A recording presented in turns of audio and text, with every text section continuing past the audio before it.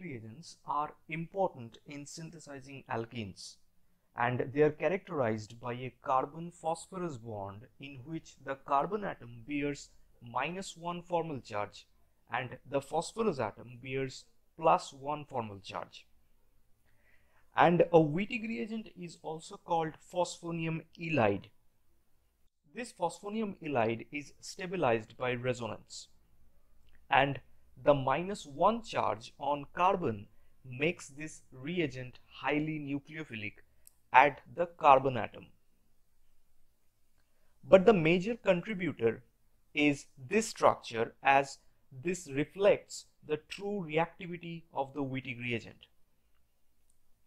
So when Wittig reagent reacts with ketone and aldehyde, it converts them into alkene by forming a new carbon-carbon double bond. And this reaction is called the Wittig reaction. So the carbon-oxygen double bond of a ketone or aldehyde is converted into a carbon-carbon double bond. The mechanism begins with the nucleophilic addition.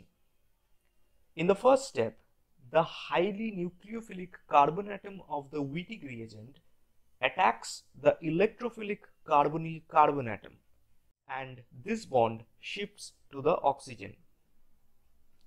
As a result of this nucleophilic addition, a betaine is formed.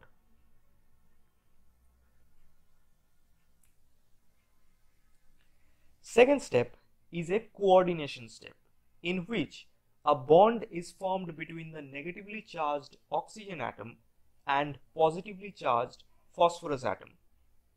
This results in a four-membered ring intermediate which is called oxaphosphetane. For many Wittig reactions, this oxaphosphetane forms in one step rather than two. Then the step would be called cycloaddition. So which mechanism occurs?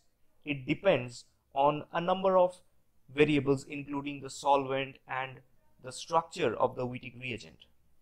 In third step, this oxaphosphetane undergoes fragmentation due to the strain to give the alkene product and triphenylphosphine oxide.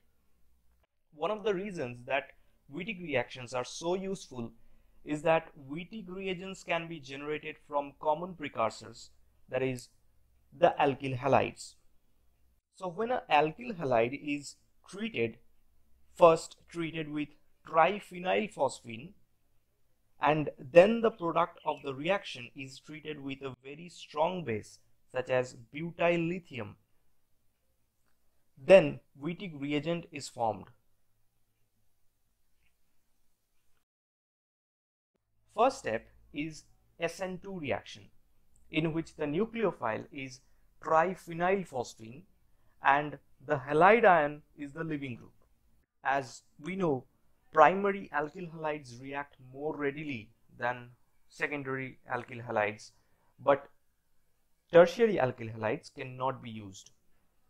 And notice here the triphenylphosphine is uncharged although it is a good nucleophile.